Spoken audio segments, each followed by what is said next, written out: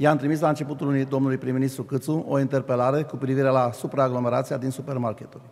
Având în vedere că încă nu am primit niciun răspuns din partea sa, mă adresez din nou prin această declarație politică, solicitând în mod direct prelungirea programului de funcționare al magazinelor și supermarketurilor. Programul scurt deja s-a dovedit a fi un eșec prin supraaglomerația care se creează. Este de neînțeles de ce primul ministru se încăpățânează să mențină acest interval orar scurt de funcționare. Situația se poate deteriora substanțial, având în vedere că se apropie Sfintele Paști, iar românii vor începe cumpărăturile specifice acestei mari sărbători. Măsurile întreprinse de domnul Câțu, în calitate de prim-ministru, au avut un impact negativ asupra dezvoltării economice a țării, conducând la proteste masive în toate marile orașe ale țării. Mii de oameni în peste 70 de localități din țară s-au exprimat împotriva măsurilor restrictive, inclusiv a măsurii scurtării programului de funcționare a magazinelor și supermarketelor.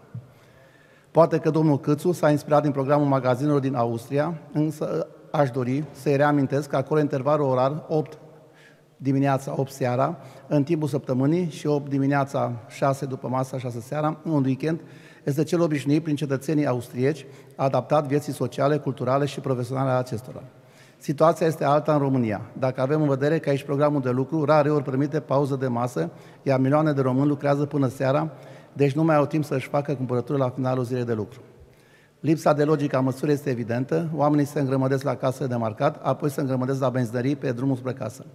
Ați supraaglomerat magazinele, supermarketurile, benzinările, dar nu le permiteți acestor oameni la slujbe religioase de Sfintele Paști decât între orele 10 seara și 5 dimineața, afară, afară și distanțați.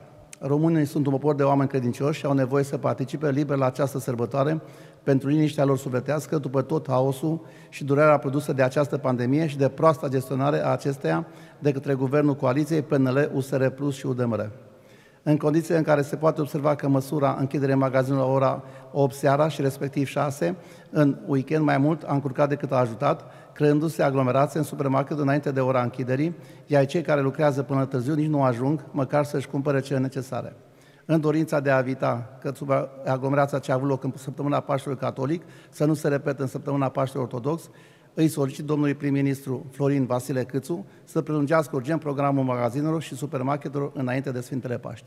Vă mulțumesc, deputat PSD Românul Marius Damian, județul Caraș Severin.